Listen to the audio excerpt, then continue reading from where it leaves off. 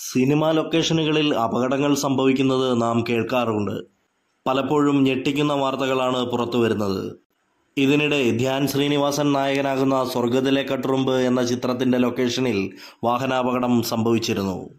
ധ്യാൻ ശ്രീനിവാസനെ നായകനാക്കി ജസ്പാൽ ഷൺമുഖൻ സംവിധാനം ചെയ്യുന്ന ചിത്രമാണ് സ്വർഗത്തിലെ കട്ടുറുമ്പ്. നടൻ ചെമ്പിൽ അശോകൻ ഗൗരി നന്ദ ചാലിപ്പാല എന്നിവർ യാത്ര ചെയ്തിരുന്ന ജീപ്പ് നിയന്ത്രണം തെറ്റി പോസ്റ്റിൽ ഇടിക്കുകയായിരുന്നു. ആർക്കും പരിക്കുകളില്ല. വാഹനത്തിന്റെ വേഗത കുറവായതിനാൽ വൻ ദുരന്തം ഒഴിവായി. അപകടത്തിൽ ആർക്കും പരിക്കുകളില്ല എന്ന വാർത്ത ഏവർക്കും ആശ്വാസം പകരുന്നതാണ്.